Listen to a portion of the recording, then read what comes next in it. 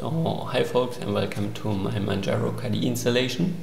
I wanted to showcase a program to access OneDrive. Um, as background, I was heavy Windows 10 user. I have a 1 terabyte OneDrive. I stored all my documents, all my photos, more or less everything on Windows in my OneDrive. Quite convenient, let's say, to have access there to say I don't want to have this files uh, now offline here, again to save this space. So, how to do on Linux? so actually it was not that easy. Yeah you log into your OneDrive you show files up and down you delete them you download them. Very inconvenient for me. Let's say taking into account the amount of data actually I store there so I was searching for a different way. Found rclone the rsync for cloud storage. Let's say it also does Google Drive but let's say for me more important OneDrive. Plus what I was searching for it also it has a fuse mount. So file system user space. Um, on this help page on the rclone website it's all explained how it works. Um, more important here I explained this now already. Let's say we will see later again. You will have here the so-called caching mode. So this is important. Caching will mean how your files will be held so when your virtual file system cache mode, when you call it off, means actually it's mentioned you cannot do anything. So this is not important for us. Minimal means you can mostly read only. Um, every this is not so convenient for us.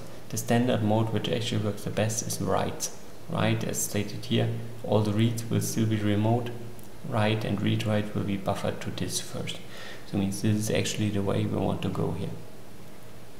So let's start this. Um, first, make sure your OneDrive is logged in.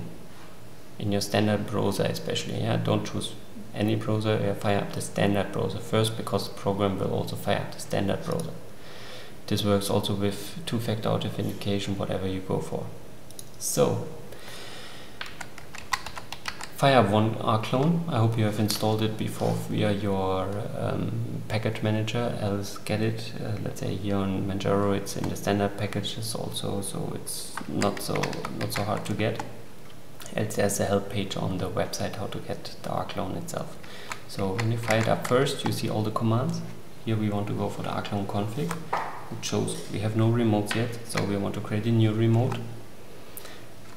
I will call it the one my OneDrive and then you see all the you have then to choose which service you want to actually attach to. So OneDrive is 22. We don't need a client ID, we don't need a client secret, this is also explained on the help page. We don't need the advanced configuration, but we want to use the auto configuration. So everything is done for us. We'll now fire the local page here, 127, so local background.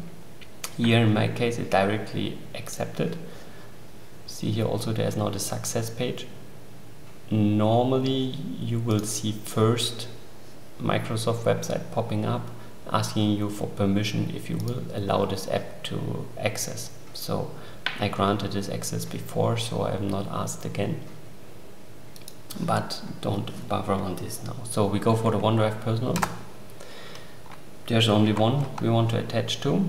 So looks okay and then yeah we see all the access tokens we say okay this we can accept so and then we are done already. So we see we have a OneDrive we have a type. So all good.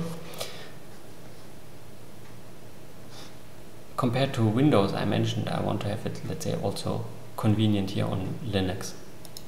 So what I did actually uh, I created a new folder first called the folder also OneDrive. Um,